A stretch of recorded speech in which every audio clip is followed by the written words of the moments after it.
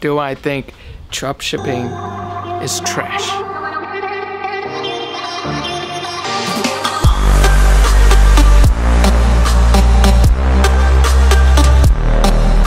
So hello, my name is Justin aka Mr. and welcome back to another video. Do I think dropshipping is trash? No, no, I don't. Do I think it's a legitimate business? Yes. Is it for me right now? No, it is not for me right now. Every time I uh, was making the store and trying to find influencers to advertise my products and all of that, I just felt like gagging. It just feels like we've been sold a dream by these bigger guys who got into the market early, like way back in like 2014, 2010, whenever this dropshipping started. The people who started in the beginning succeeding, the people who are winning right now. And that's why they can put titles like 0 to 86,000 in a day or 0 to $2,000 in a day. And another factor that plays against us is that they are Americans in America and it's a lot easier to have customer support and do the whole refund thing because a lot of the times the refund is quite big.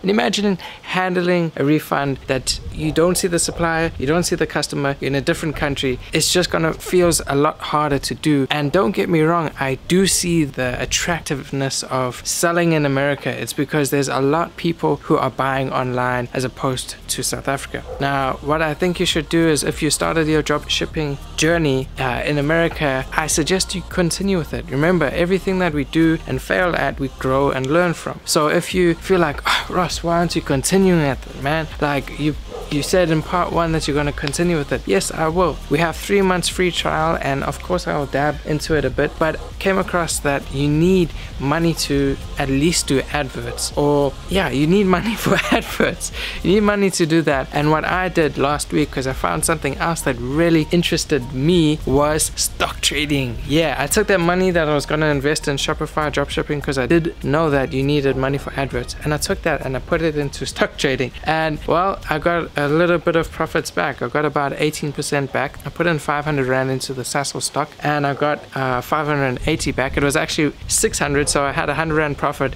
And then in like 20 minutes, it went down 20 Rand. So I just decided to sell, take my 80 Rand profit. And thank goodness I did that because it went all the way down to like 20 Rand profit. I'm glad I did that. And I'm glad that I've in invested more time and effort into something that I enjoy because I don't like Shopify dropshipping. I don't like it. The reason why I don't like it is I've been building brands this past year or so onto products because that's the whole thing about Shopify dropshipping. You need to build a brand in that product. You can't just take a, a picture from AliExpress and post it there and expect that it's going to sell. You need to put a lot of effort into it. And cool, if you do that and it works out for you, great. Let me know in the comment section down below. However, I just found that these big guys aren't really telling the truth when it comes to the sales. Yes, they're making the sales, but how much of that is tax? Like half of it. There's also cost involved because they have to buy the product. Remember, it's not all of it is profit. Uh, at the end of the day, if they're making a million rand uh, in sales, their profit is probably a hundred thousand dollars, which is not bad at all for just finding a market for a product. But remember, you got to put in that effort, and you got to put a lot of money into advertising as well. So it's just ain't for me right now. And if you started your journey, please go ahead and do so. If you succeed in it, great. But right now, for the quarantine purpose, I'm stopping this Shopify drop shipping and I'm putting 120% effort into stock trading. Okay, stock trading is just so much interesting for me and I feel like I feel happy doing it, you know? I feel happy. Even if I lose money here and there, that's cool. Uh, just Shopify dropshipping is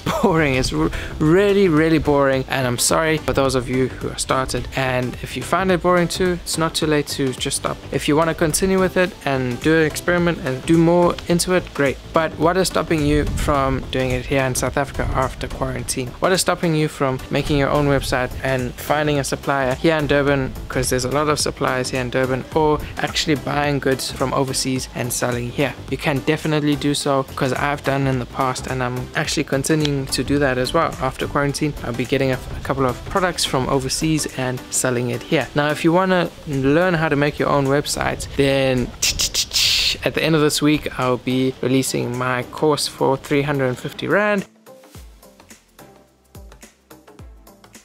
To those of you who are starting with absolutely zero, I suggest you go and check out this video of mine where I teach you to take zero to a thousand rand. Yes, we're in the quarantine process, so I don't think you can do some selling right now. If you're really interested and you have like 250 rand to do some stock trading, let me know. Hit me up in the DM, send me your email address, and I will send you a link that you can start stock trading. And I think it's a good time to do that right now because the market is very bearish. It's a good time to buy low, sell high later. I think I've said enough in this video. Basically, my thoughts on Shopify dropshipping. If you're a beginner and you have no money and you haven't started it yet, cool. Don't start it now. Just don't. Okay, but if you really want, if you have a little bit of money to play around with and you really feel like Shopify dropshipping in America is the thing for you, go ahead and do that. But right now, if you want to get into stock trading, again, DM me on Instagram. I'll send you a link and you can start with 250 Rand, which is really cool. So let's do that. I will be very methodical with the things that I do in stock trading. So expect a lot of videos this coming week because I feel like the market is going to do a little flip on us and go up or down. Who knows? But we'll see in videos to come. Remember to always